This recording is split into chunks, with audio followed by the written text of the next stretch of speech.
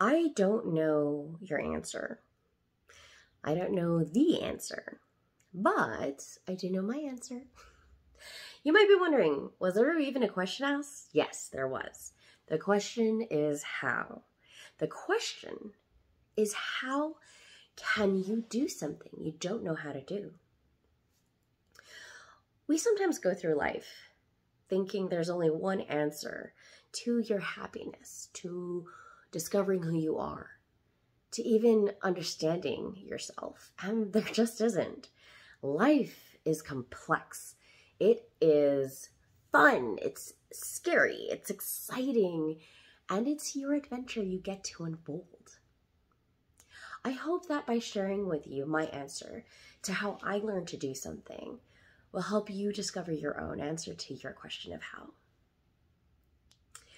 One morning, I was sitting on the couch enjoying my cup of tea while watching the kitchen. And Sunny Anderson, who's one of the co-hosts, happened to be on and demonstrating how to poach an egg. I remember looking at my husband and telling him, I've always wanted to try to do that. And he just looks at me. You say that every time. Uh, yeah, he's right. I do. I say that every time. And it dawned on me, I've been saying this for years. Years. So what does it take to poach an egg? It takes a pot, some water, and an egg. I've got all three of those things. So why has it taken me so long to try to do this? This triggered a bunch of thoughts in my brain. And I started to think about everything else that I've been wanting to do that were simple, that I could have done already, and I just haven't gone around to it. And there it was. Ding! I had a light bulb. I looked at my husband and I said, I'm going to do 30 new things in 30 days and post it live while experiencing that. And he just says, That sounds great. Let's do this. So, with that said, I created a list. I made a list of everything and anything I wanted to do, try, smell, uh, even just skills I wanted to try. Everything and anything that came to mind, a thought that was explored, I wrote down. Before I knew it, I had over a hundred items on this list and decided, okay, what's the first 30 things I'm gonna do? June 29th was the very first day of shooting. I decided to poach an egg as a first challenge because that's what kind of got this train rolling, right? I remember feeling so nervous during that day. And I wondered, why am I nervous? It's just an egg. I mean, really, it's just an egg. I put all this pressure on myself, how badly I wanted the very first time I tried this to come out perfect. And therefore I can proclaim myself as this egg poaching prodigy. But yet, I fell short.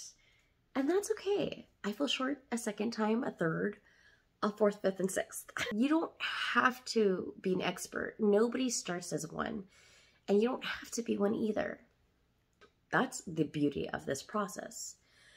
You just start. That truly is all there is to it. You just start. After the first 30 days was over, I remember reflecting back, even beyond the 30 days, like a, a few years ago, and recalled all the getting caught up in watching YouTube videos, listening to podcasts, and reading books on mental awareness, mindset, and even motivation.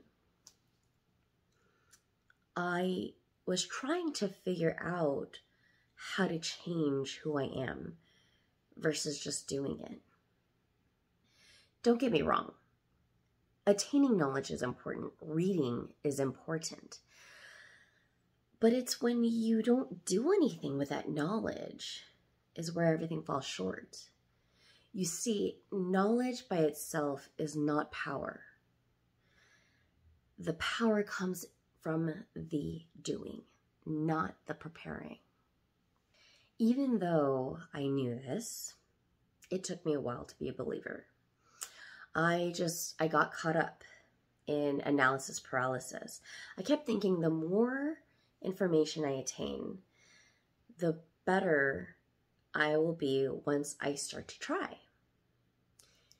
Did you hear where the problem was? I kept saying, once I start to try.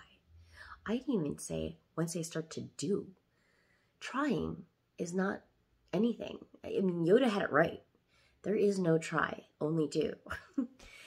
and because I kept saying that, I never got around to it until I went ahead and just started doing things. Sometimes the best way to do anything is just to do it. You should really give this a try. Number one, write down your list of all the things you want to do and are interested in or even curious about. Second, choose the easiest thing on that list that you can do today. You want to start creating a habit. And number three, you are going to start crossing things off that list because the more you do, the more you are able to do. And because you start to challenge yourself and living up to those challenges, you will realize how quickly addicting that becomes. Let me tell you something. You will never feel 100% prepared for anything.